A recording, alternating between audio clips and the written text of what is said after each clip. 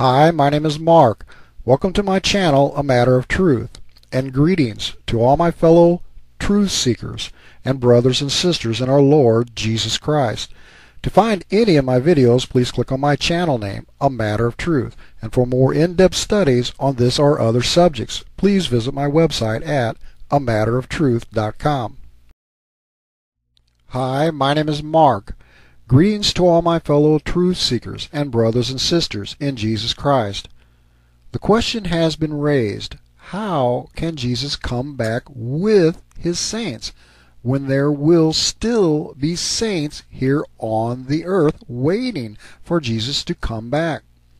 Now, one of the reasons why many Christians believe in the pre-tribulation rapture and many others believe in a mid-tribulation rapture is because of this very question of how is it even possible for Jesus to come again with his saints if his saints are still here on the earth waiting for him to come back.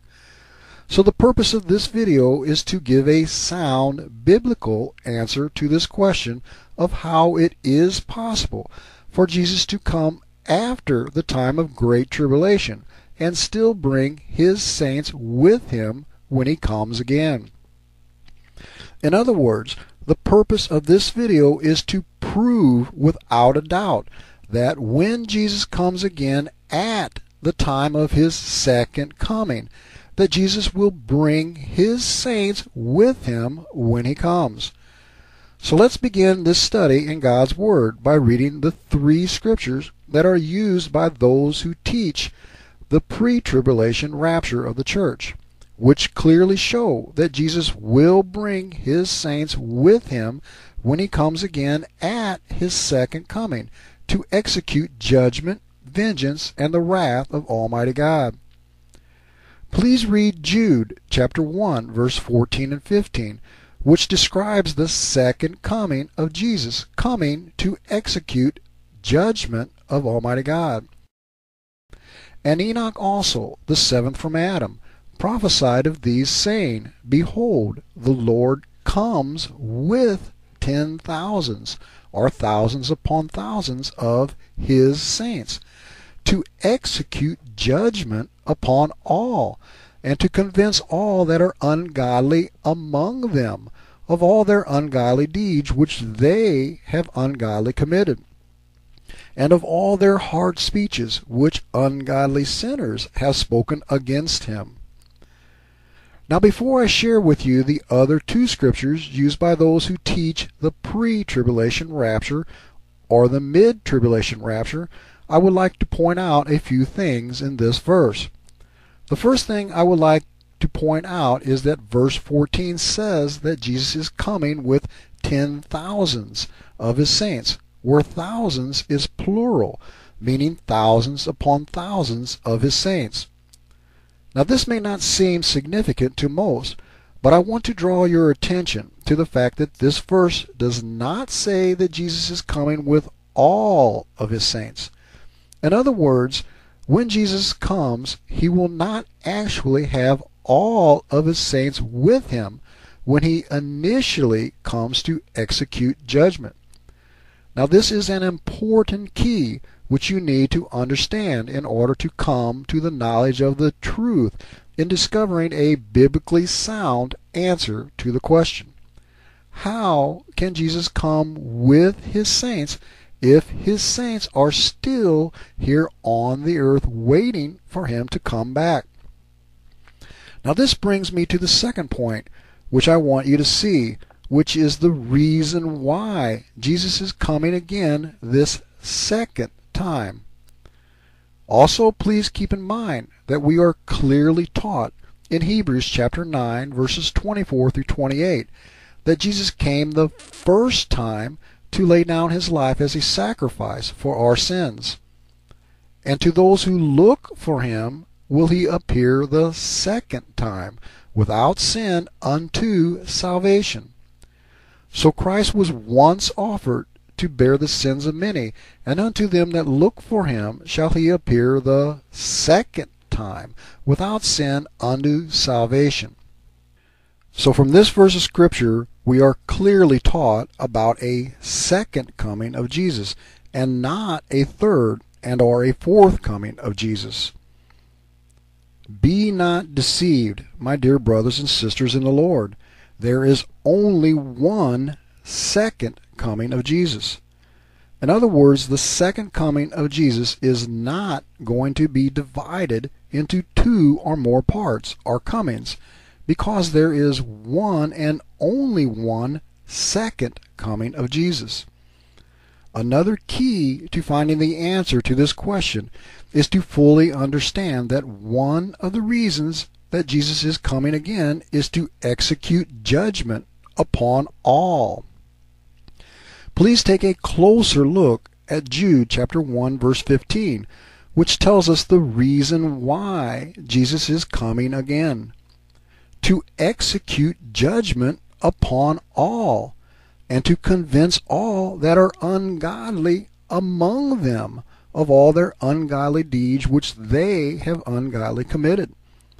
In other words, Jesus is coming to judge the living and the dead. That is to say, to separate the righteous from the unrighteous, or the godly from the ungodly. Some of you may be thinking, well, you are not telling me anything that I do not already know. You may be thinking, yes, I already know that Jesus will judge the living and the dead at his second coming. But this does not answer the question of how Jesus will bring his saints with him when he comes again, since his saints are still here on the earth waiting for him to come again. Please bear with me a little longer and keep in mind that one of the reasons why that Jesus is coming again is to execute judgment upon all. In other words, Jesus is not coming to execute judgment only upon the ungodly, but rather Jesus is coming to execute judgment upon all and to convince the ungodly that are among them. Speaking of the ungodly who are among the righteous. In other words, all of his saints are not coming with him when Jesus initially comes again. For you see, there are still saints here on the earth waiting for him to come again. You see, no matter if you believe in a pre tribulation, a mid tribulation, or a post tribulation rapture, there will still be saints here on the earth waiting for Jesus to come again. With that being said, let's read Zechariah chapter 14, verse 5. And you shall flee to the valley of the mountains, for the valley of the mountains shall reach unto Azal. Yea, you shall flee, like as you fled from before the earthquake in the days of Uzziah, king of Judah. And the Lord my God shall come and all the saints with him. Now, from this verse of Scripture, we clearly see that our Lord God is not coming with just ten thousands or thousands upon thousands of his saints. But rather, we are clearly told that our Lord God is coming with all his saints. Now, some of you may still be thinking, how can this be that our Lord God will come with all his saints when we know without a doubt that there will still be saints here on the earth who are waiting for him to come again? In other words, there may be some of you who may still be holding on to the reasoning that there is no other way to answer this question other than a secret rapture that must take place before the second coming of Jesus. So that Jesus can rapture his church and take them back to heaven in order to be able to bring his saints with him when he comes again at his second coming.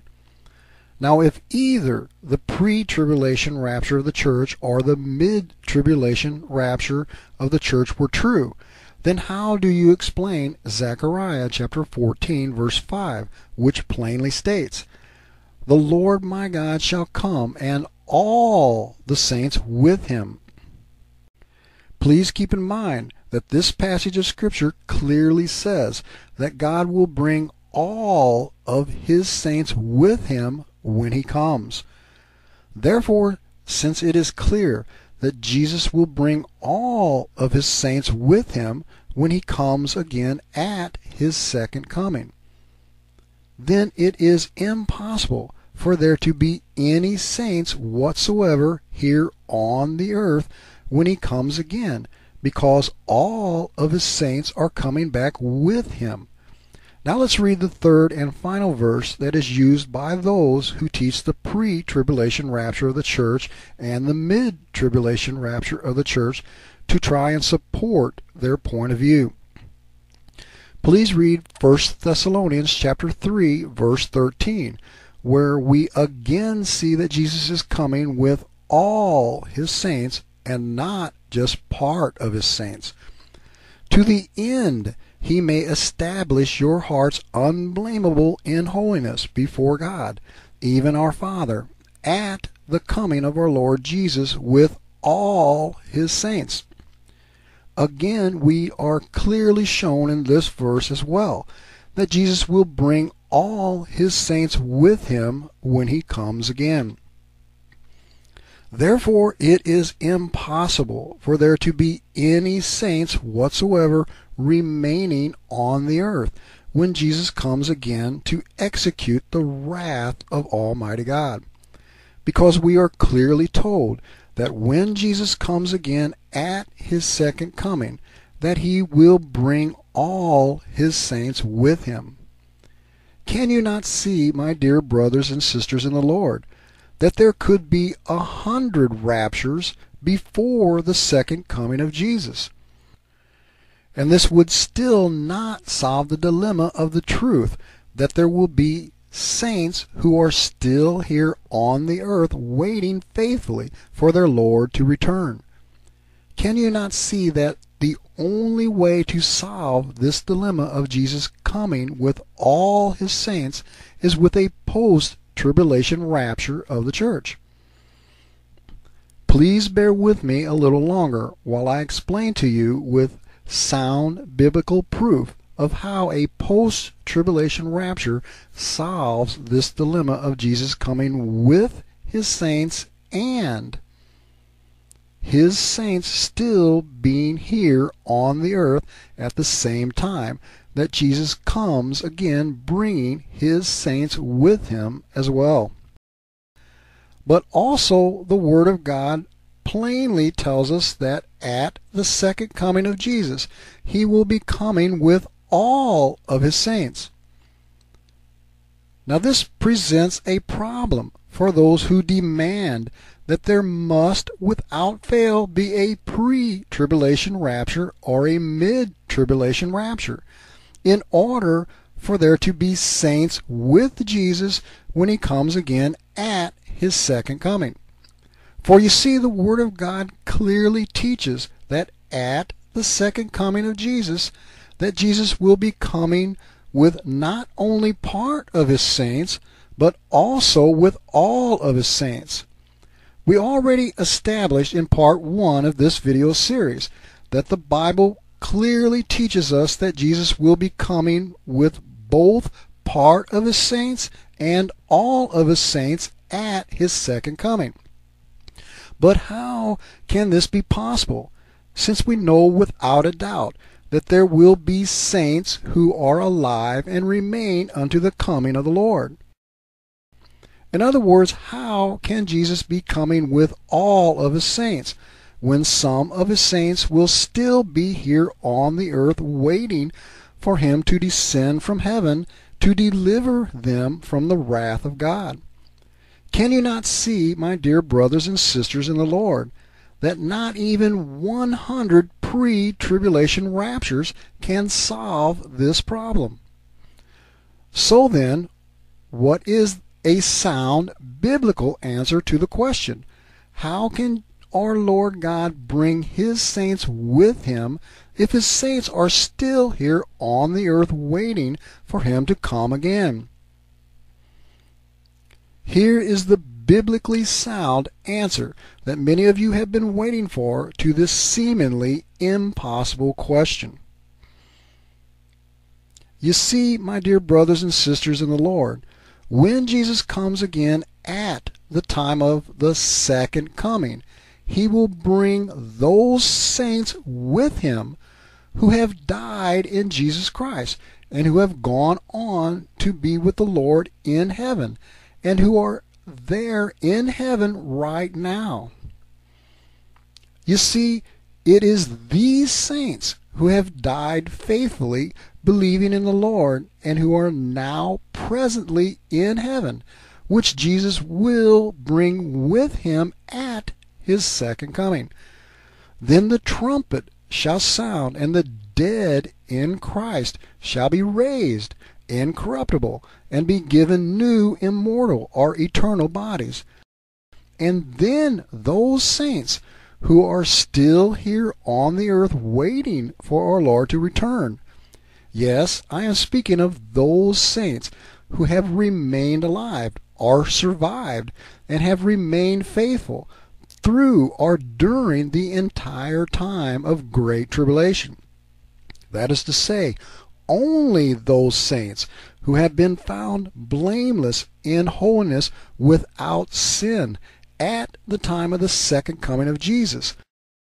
When our Lord himself shall descend from heaven with a shout, and the voice of the archangel, and the trumpet of God, shall be changed along with those saints who have died in Christ, and then we shall all be caught up together to meet our Lord in the air. Then at this point, all his saints shall be with Jesus in the air, and shall then come with Jesus in clouds of power and glory to the battle of Armageddon.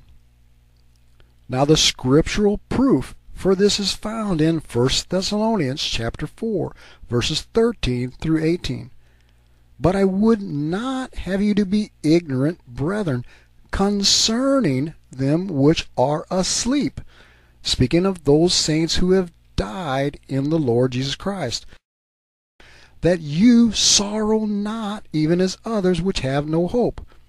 Why do believers need to be comforted with these words, to not sorrow for those who have died in Christ? For if we believe that Jesus died and rose again, even so them also which sleep are those saints who have died or sleep in Jesus will God bring with him. For this we say unto you by the word of the Lord, that we which are alive and remain unto the coming of the Lord shall not prevent or go before them which are asleep, speaking of the dead in Christ, who have gone on to be with the Lord in heaven. For the Lord himself shall descend from heaven with these dead saints who are sleeping in Jesus, and with a shout, and with the voice of the archangel, and with the trump or trumpet of God. And the dead in Christ shall rise first. That is to say, those dead saints who have died in Christ and have gone on to be with Jesus in heaven, who God will bring with him at the second coming of Jesus, will be resurrected first. Then we which are alive and remain shall be caught up together with them. Speaking of those dead saints, whom Jesus shall bring back with him to be resurrected and caught up in the clouds to meet the Lord in the air, and so shall we ever be with the Lord. Wherefore, comfort one another with these words. Now, some of you may be thinking, no, my dear brother in the Lord, this passage of Scripture is not referring to the second coming of Jesus but rather this passage of Scripture is referring to a pre tribulation rapture of the church. Because the second coming of Jesus is the coming of our Lord to execute judgment, vengeance, and the wrath of Almighty God. That is to say, the second coming is the day of the Lord. And this passage of Scripture is clearly speaking of the catching up and gathering together of his saints. For why would Paul say, comfort one another with these words? Because going through the entire period of great tribulation does not sound like comfort to me. But does the word comfort here refer to a pre tribulation rapture in order to escape the time of great tribulation? Or does the word comfort refer simply to the resurrection and change of the saints? Now I will be the first to agree with you. Going through the entire period of great tribulation does not sound like comfort to me either. However, we cannot simply change or twist the plain meaning of the text to fit a doctrine that is more pleasing to our ears to hear. We must keep in mind and take heed to the warning which we read in 2 Timothy chapter 4 verses 3 and 4. For the time will come when they will not endure sound doctrine, but rather after their own lust shall they heap to themselves teachers or doctrines, having itching ears, or ears that desire to hear things that are pleasant and more pleasing to hear.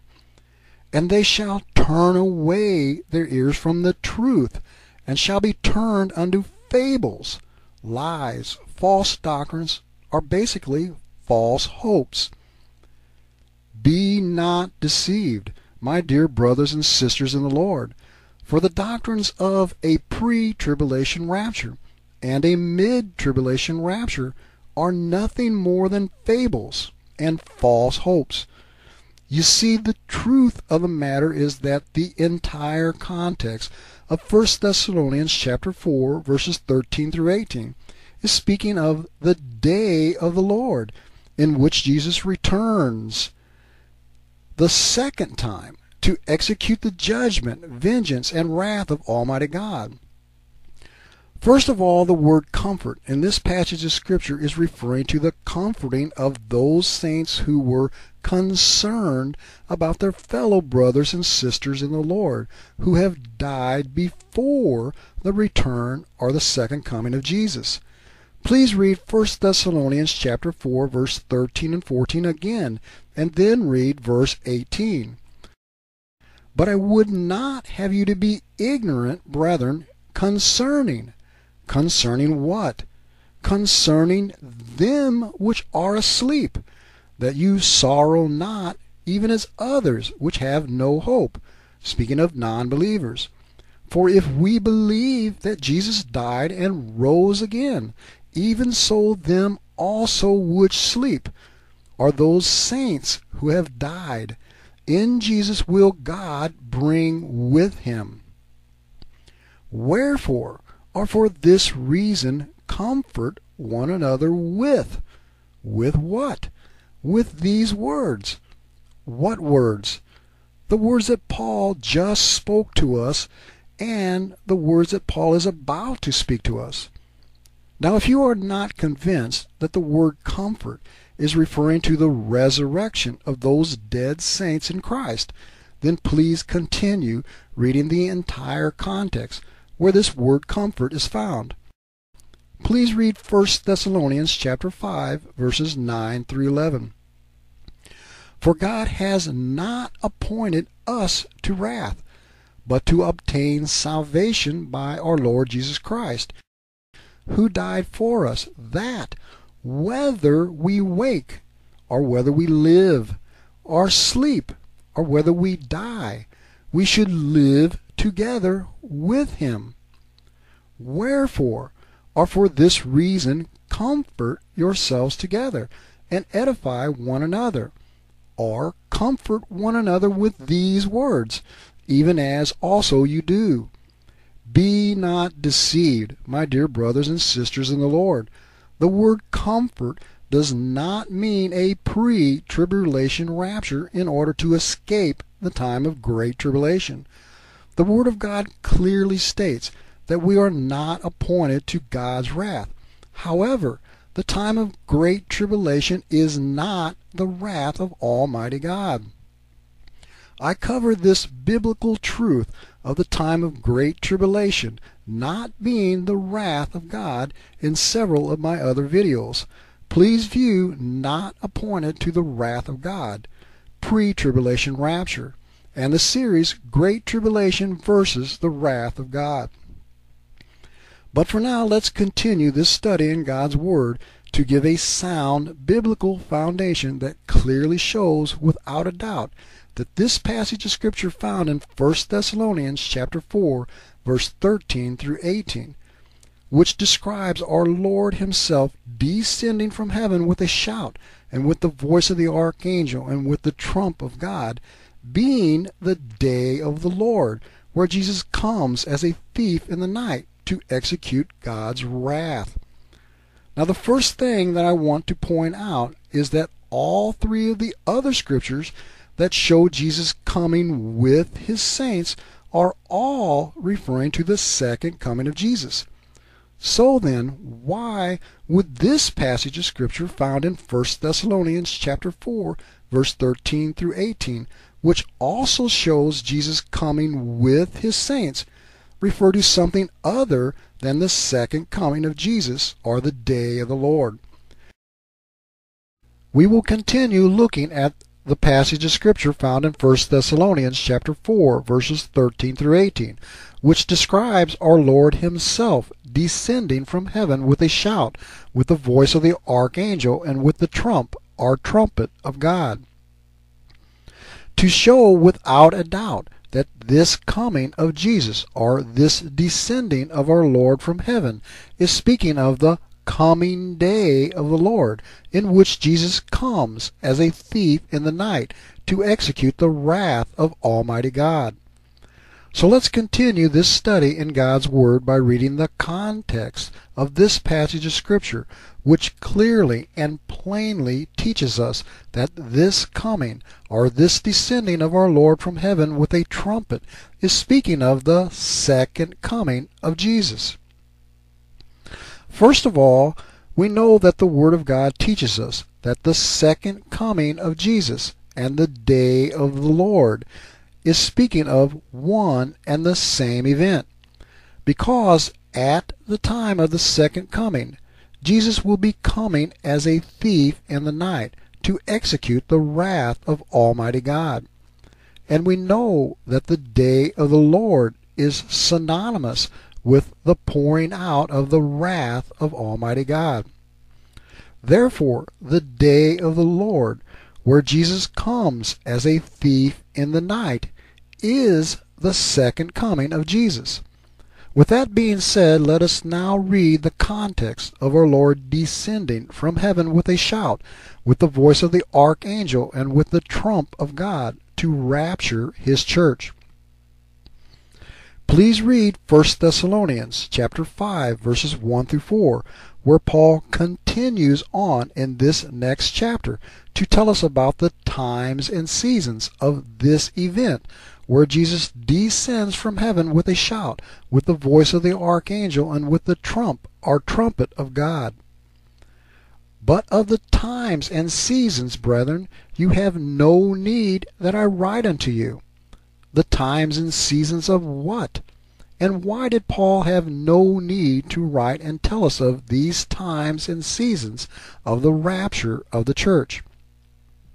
Again, please keep in mind that Paul has just finished telling us about the coming of Jesus, descending from heaven with a shout, with the voice of the archangel, and with the trumpet of God to rapture his church. Then Paul continues to tell us in this next chapter that he has no need to write to us of the times and seasons of this coming of our Lord to rapture his church, which he just told us about. Why? For yourselves know perfectly, or you already know perfectly well, that the day of the Lord so comes as a thief in the night. For when they shall say peace and safety, then sudden destruction comes upon them, not us, as travail upon a woman with child, and they shall not escape. But we shall escape the day of the Lord, coming as a thief in the night. But you, brethren, are not in darkness, that that day, speaking of the day of the Lord, where Jesus comes as a thief in the night to execute the wrath of God, should overtake you as a thief. Why? Because we are not appointed to the wrath of God. Therefore we shall be delivered from this day of the Lord, where Jesus comes as a thief in the night to execute the wrath of Almighty God. So then, how shall we be delivered from this day of the Lord, where Jesus comes as a thief in the night to execute the vengeance and wrath of Almighty God? Can you not see, my dear brothers and sisters in the Lord, that Jesus will descend from heaven with those dead saints whom he shall bring with him when he comes again at his second coming? Then these dead saints who have died in the Lord Jesus Christ and have gone on to be with the Lord in heaven will be resurrected first as Jesus descends from heaven with a shout and the trumpet of God. Then those saints who are still here on the earth, who have gone through the time of great tribulation and have remained alive, are survived, and have remained faithful, shall be changed in a moment and in a twinkling of an eye, and then we shall all be caught up together to meet our Lord in the air, and so shall we ever be with the Lord. Then at this point in time, after the rapture has taken place at the second coming of Jesus, and we all have been gathered together to meet Jesus in the air over this place called Armageddon. Then all of the saints who are now with Jesus in the air shall come with Jesus as Jesus continues on to Armageddon to execute the vengeance and wrath of Almighty God. Scriptural proof for being gathered together and taken to this place called Armageddon is found in Revelation chapter 16, verse 15 and 16. Behold, I, Jesus, come as a thief, or as a thief in the night. Blessed is he that watches and keeps his garment, lest he walk naked, and they, speaking of the angels, see his shame. And he, speaking of Jesus and his angels, gathered them, referring to only those saints who are found blameless and without sin, together into a place called in the Hebrew tongue Armageddon. Can you not see, my dear brothers and sisters in the Lord, that the entire context of 1 Thessalonians chapter 4 verse 13 through 18 is speaking of the day of the Lord where Jesus comes as a thief in the night to execute the wrath of Almighty God. And before Jesus executes the wrath of God, he shall descend from heaven with a shout, with the voice of the archangel, and with the trumpet of God, to rapture his church, so that his church, or his saints, should escape the wrath of God.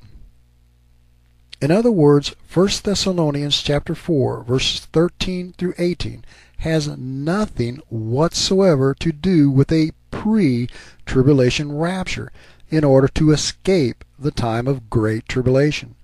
Because this passage of Scripture, nor any other passage of Scripture in the Word of God, speaks of the church escaping the time of great tribulation. In other words, it is the wrath of God that we are told to watch and pray that we be accounted worthy to escape in Luke chapter 21 verse 36, which reads as follows.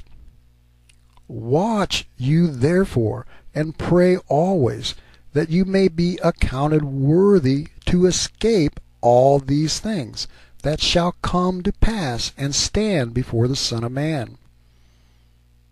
Escape all what things?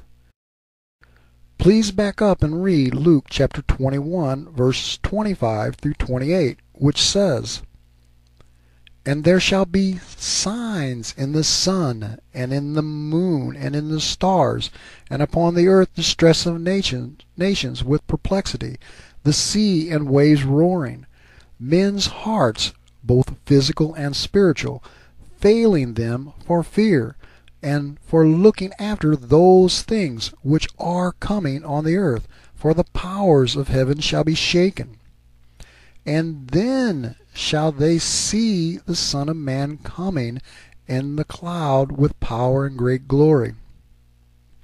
And when these things, what things, begin to come to pass, then look up and lift up your heads, for your redemption, speaking of the rapture of the church, draws nigh. In other words, when we, the church, shall begin to see these signs in the sun and in the moon and in the stars, then we are to look up and know that our redemption is very near at hand. Be not deceived, my dear brothers and sisters in the Lord, for it is not the period of great tribulation, that we, the church, shall escape. But rather it is the wrath of God that we are told to watch and pray always, that we be accounted worthy to escape. The message of the gospel is very clear when it plainly states that the wrath of Almighty God shall come upon his disobedient children. Please read Ephesians chapter 5 verse 6 and 7, which plainly states, Let no man deceive you with vain words, for because of these things comes the wrath of God upon the children of disobedience. Be you not therefore partakers, speaking of being a partaker of the wrath of God, with them. Now these things in which the wrath of God comes upon the children of disobedience is referring to all manner of sin. In other words, Almighty God the Father is calling His children, as well as all people everywhere, to repent and to turn away from their wicked ways. My dear brothers and sisters in the Lord, it is time to awake and draw nigh unto God in order to keep sin out of our lives. Thanks for watching. May God bless you richly as you continue to seek the truth of the whole Word of God. If this video has blessed you, then please favor it, and please do not forget to subscribe in order to stay informed of any future videos. To find any of my videos, please click on my channel name a matter of truth. Please feel free to download or copy any of my videos to use on your channel and share the truth with others. And for more in-depth studies on this or other subjects, please visit my website at a amatteroftruth.com.